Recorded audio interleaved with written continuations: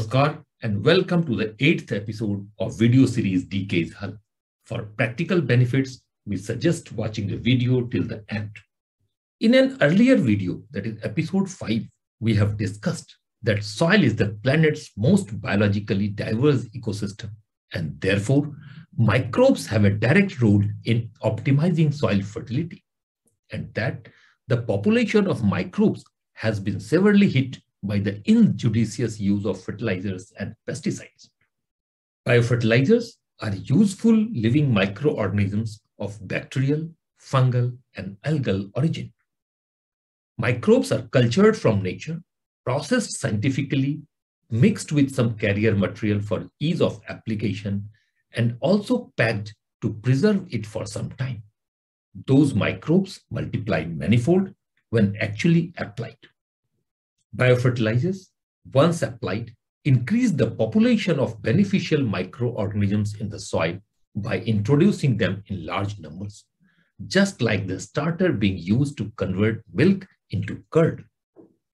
Biofertilizers help in atmospheric nitrogen fixation or solubilizing phosphorus or mobilizing potash or some other nutrients and stimulate plant growth through the synthesis of growth promoting substances.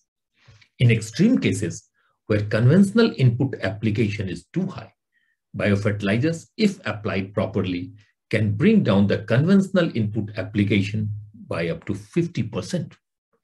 Biofertilizers are not yet able to replace the use of chemical fertilizers as they themselves do not contain any nutrient directly.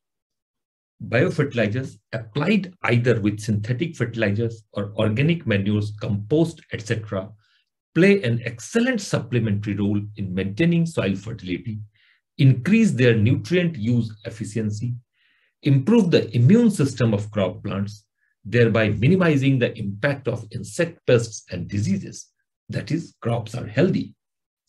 Some other benefits of biofertilizers are decomposition of crop residues, increased crop yield, lower cost of cultivation, and improvement in soil properties. To have a fair idea about different types of biofertilizers, we will discuss in detail about each biofertilizer one by one. However, it is relevant to mention some important tips which equally apply to all and need to be followed to ensure maximum benefits from biofertilizer application.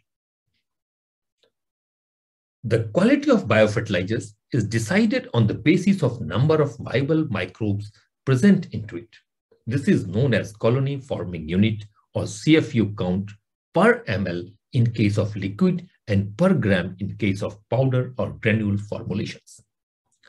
The standard prescribed for liquid biofertilizers, that is CFU count per ml, is double when compared with per gram of powder or granules.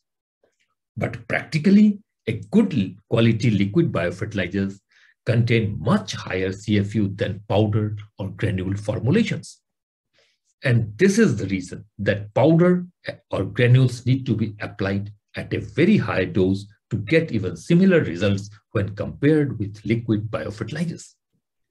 Normally, 250 to 500 ml of good quality individual biofertilizer per acre or per application is optimum.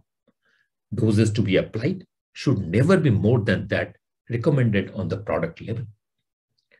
Microbes applied in the form of biofertilizers work in the soil in close association with the roots and in the active root zone of plants. Therefore, earlier application is beneficial and should be preferred over delayed one. Proper application of biofertilizers play the most important role. And this is one of the major reasons that due to fault in the application methods, benefits of biofertilizers are yet to be realized.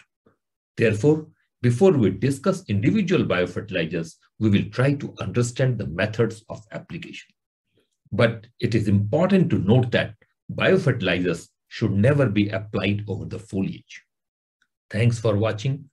Like the video and subscribe to the channel, share with friends and give feedback so that we can include new topics in future.